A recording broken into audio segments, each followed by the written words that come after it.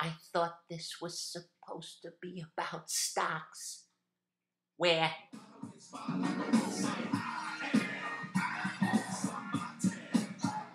Yo, yo, yo, yo, what's up, everybody?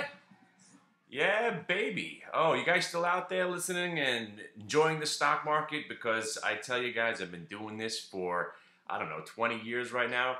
I just had my best month in about 10 or 15 years. Uh, maybe it has something to do with me not doing videos and concentrating on trading, but my God. First of all, GDP number came out just now, and once again, who cares? Who cares? Just ignore the market and stick with your individual names. That's all we've been doing. You got an earnings report, focus your attention on that stock for the next couple of days.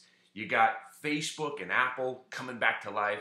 And I want to talk about this incredible market that we're in right now. Remember, uh, I think maybe one or two videos ago, we were actually going down. We had our first three day down uh, in, in a long time. And everybody was getting at a you know, trying to think where we were going to go to. This was it. The market had run too fast. All the doomsday guys were getting their blogs ready, and we didn't even get to hit enter on or send, and the market had already rebounded. And now we're at all time highs. Now, again, I'm never going to talk about where the market's going anymore.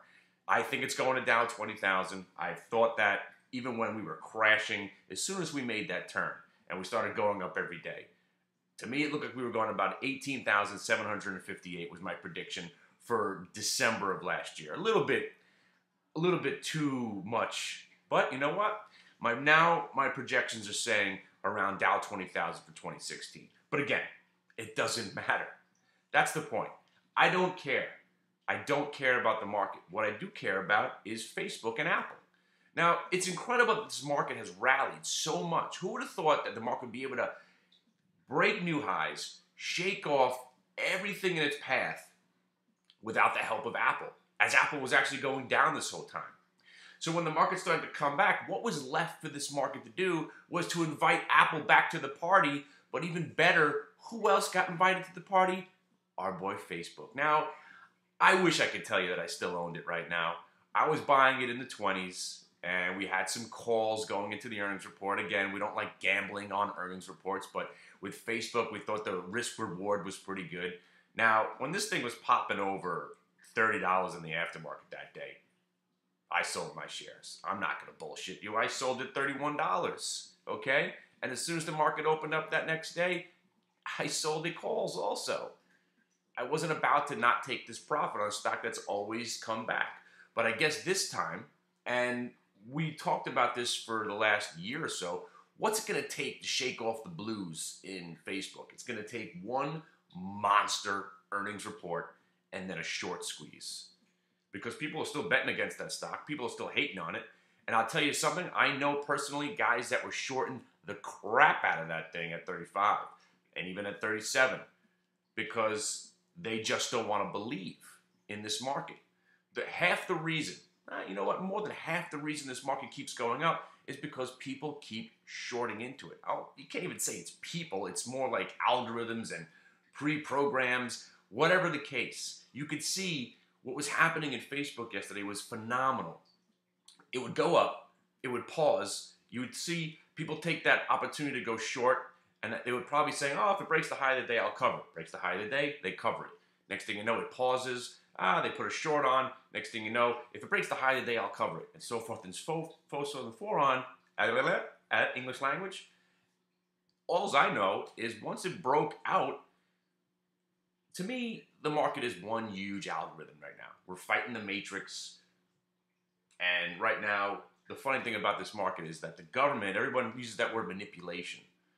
Market's manipulated. Right now, it's manipulated to pretty much go up 90% of the time, yet people still sit here and fight and are angry about it.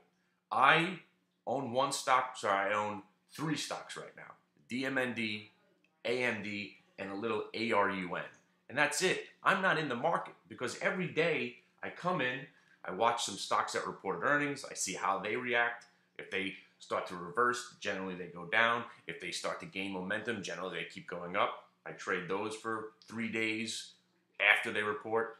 That's been a great trade. We crushed HLF on the short side yesterday. We sold calls against it. We bought puts on it. It was a great trade. And of course, Facebook. Now, Facebook, it was a nice short finally when it did double top there at 37.65 yesterday. But even though it went down about 65 cents, by the end of the day, it was breaking new highs. See, the thing is with Facebook, I just assumed that, okay, Facebook good numbers, bring it to the IPO price. Enter. 38 bucks. I thought 38 bucks was inevitable, and here it is. So right now, there's been, I gotta tell you, the best trading I've ever seen. Forward, backward, and it should continue. Maybe we chill out in August, but right now, I don't see any reason for it. People are saying this would have been a this has been a boring month. Best month in 10 years. Best month in 10 years. And I want you guys to enjoy it. So come to the website. If you haven't taken a free trial yet, come and join us. We hang out. We're just normal guys sitting around trading all day. And uh, you know, it's it's it's been phenomenal. So thank you for everybody that's been showing up, and hopefully I'll see some new faces very soon. All right, if you ever want to talk trading or how to get into this industry, if anyone want to learn anything about what we do, again, just email me at info at hitthebid.com. And if you don't know, you could call me my real name from time to time now. You know, I like being called the Krull. That was the religion I started 15 years ago. And uh, it's not my real name. All right. So if you don't know my real name, come and find out what my real name is on uh, on the broadcast. All right, guys. Be well.